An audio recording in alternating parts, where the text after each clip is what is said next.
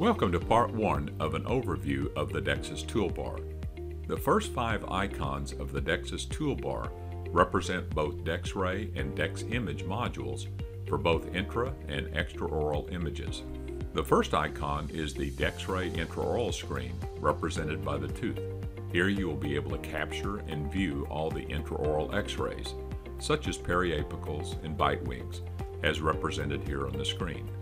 The second icon is the DexRay extraoral screen and is represented by a human figure.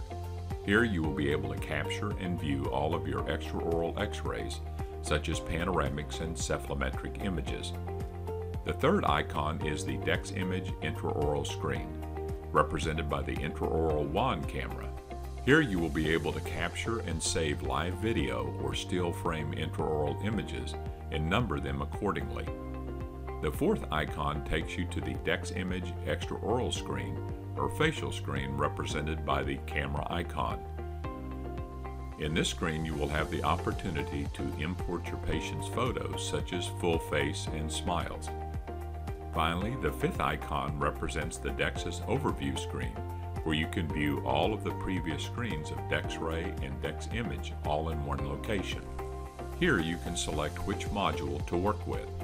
You will have full functionality to use the associated tools to view or take images.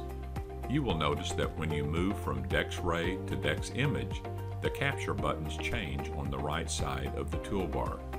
When in DexRay, you will have the option to capture an X-ray image or scan an image.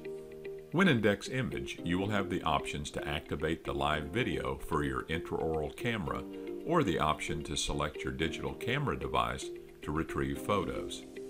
This concludes part one of the toolbar overview.